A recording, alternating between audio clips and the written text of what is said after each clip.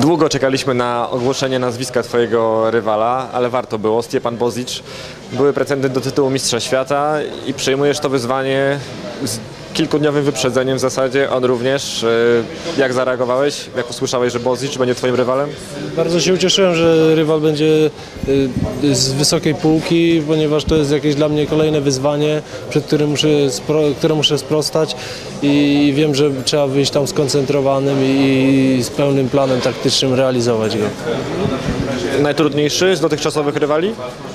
No, myślę, że najbardziej doświadczony. Czy najtrudniejszy okaże się to w ringu, ale y, na papierze na pewno najtrudniejszy. Zdążyłeś już przeanalizować sobie jego styl? Y, Obejrzałem parę jego walk, y, nawet z trenerem przeanalizowaliśmy. Lubi przejść do przodu, to jest jego taka, taki znak rozpoznawczy. Ja też, więc zapowiada się bardzo dobra walka. Co będzie najtrudniejsze w tej walce dla ciebie? Co będzie najtrudniejsze? Ja wiem. Mam wyjść z planem swoim taktycznym i go realizować, a coś to okaże się w ringu, co będzie trudne, a co łatwe. Mam nadzieję, że, że, że ta walka pokaże, że stać mnie już na większe wyzwania. Ma, czujesz niedosyt związany z twoimi ostatnimi występami? E, Tak, ale to też takich rywali dos- dostawałem, e, że dowiadywałem się o nich w ostatniej chwili. A, I nie za wiele było o nich materiałów tam w internecie, a tutaj już, już, już jest e, jakiś materiał do przeanalizowania, do, obrancia, e, do obrania odpowiedniej e, strategii. Można nad czym się podeprzeć, oglądając jego walki i, i wychodzimy i robimy swoje.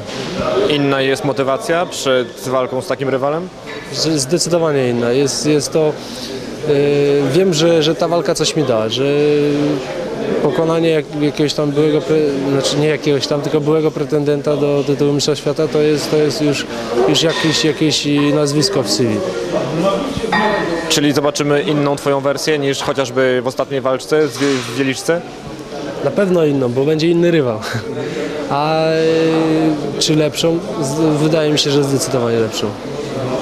Twój typ na walkę wieczoru? Krzysztof Głowacki, Nuri Seferi? Zwycięstwo Krzyśka Głowackiego myślę, że nawet przed czasem. Jak obserwujesz Krzyśka na sparingach, to przewidujesz, y, że powinien mieć w tej walce jakiekolwiek problemy? Nuri Severin jest też bardzo twardym y, zawodnikiem, który również prezentuje styl e, otwarty, przący y, do przodu i tam będzie, będzie trzeba bardzo uważać, bo, bo, bo jeden przypadkowy cios w tej wadze też decyduje o, o wszystkim, ale wydaje mi się, że Krzysiek na tyle, co widziałem go w sparingach, jest skoncentrowany i, i realizuje to, co, co, co z trenerem sobie założyli.